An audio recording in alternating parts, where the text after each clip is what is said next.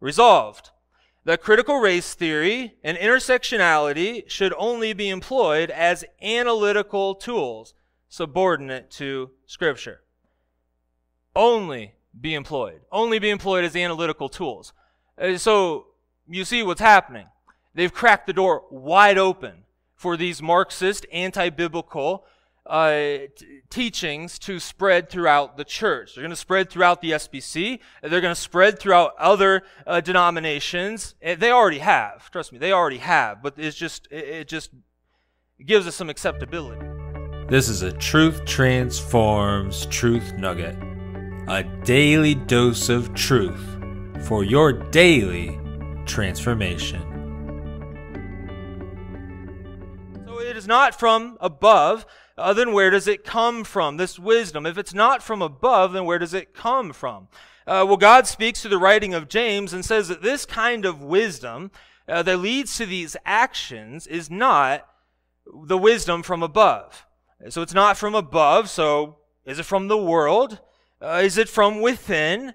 Does it come from below? James answers this question. He says yes, yes, and yes. He says that this wisdom is earthly, unspiritual, demonic.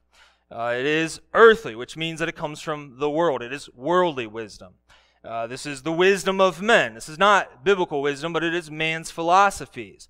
And the Apostle Paul warned about this too. Uh, he said in Colossians 2 8, writing to the church at Colossae, he said, See to it that no one takes you captive by philosophy and empty deceit, according to human tradition, according to the elemental spirits of the world, and not according to Christ. So he very clearly warns against this. He said it is just according to human tradition. It is the elemental spirits of the world. It is not according to Christ. This worldly wisdom is not the wisdom for Christians to follow. And so you might be thinking, well, then what's an example of worldly wisdom? Well, there are many forms of worldly wisdom. I'll give you a recent example. The Southern Baptist Convention, the largest Christian denomination in America, uh, over 47,000 churches just passed a resolution just a few weeks ago. They passed a resolution that deals with critical race theory and intersectionality.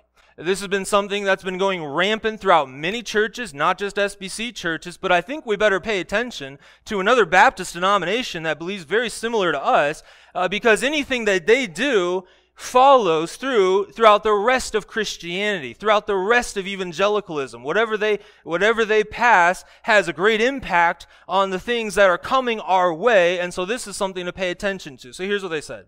They passed a resolution on, on critical race theory and intersectionality, which, which critical race theory and intersectionality are Marxist ideals. They are Marxist uh, categories of partiality, of racism. Everything turns into the oppressor and the oppressee. Uh, and it's used in terms of race these days, and, and it's, it's been spreading pretty rapidly. Uh, go to a go to a conference, you'll hear about it. Go to many seminaries, you'll hear about it. Go to uh, go go buy a book in the church bookstore. Probably it's all over the place, and it's continuing to spread. And so they passed a resolution, and they said I want to say this first before I read this part. They, they said that it is submitted to Scripture. You know, it, these ideas must be submitted to Scripture. And you think, well, that sounds good, right? Just wait. Evangelical scholars who affirm the authority and sufficiency of Scripture have employed selective insights from critical race theory and intersectionality to understand multifaceted social dynamics. So I want you to I want to break it apart. These people affirm, affirm the authority of Scripture, they say. It says they affirm the sufficiency of Scripture, but yet that they receive selective insights from these anti biblical ideologies. And I don't know about you, but does that make sense to you? It's like me saying, well, the teachings of uh, Islam, they must be in submission to Scripture.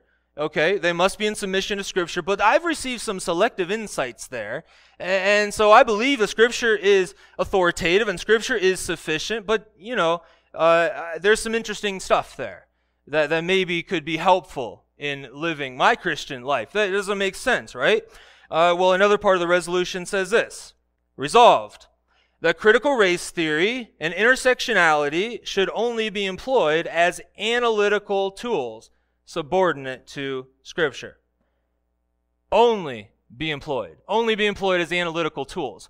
Uh, so you see what's happening. They've cracked the door wide open for these Marxist, anti biblical uh, teachings to spread throughout the church. They're going to spread throughout the SBC. They're going to spread throughout other uh, denominations. Eh, they already have. Trust me, they already have. But it's just it just gives us some acceptability. So this is worldly wisdom. This is the kind of wisdom we need to move away from. This is the kind of wisdom we need to recognize when it's headed our way.